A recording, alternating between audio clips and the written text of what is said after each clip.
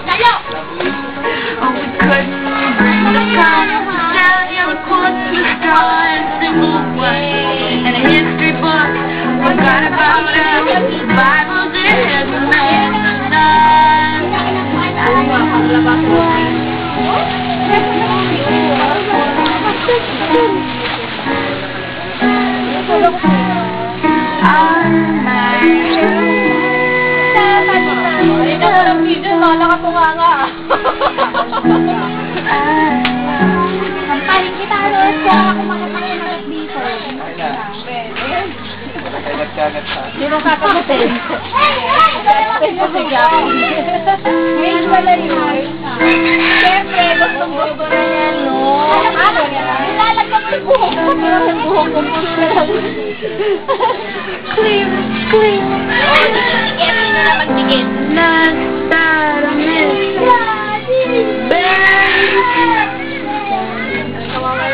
I've been staying up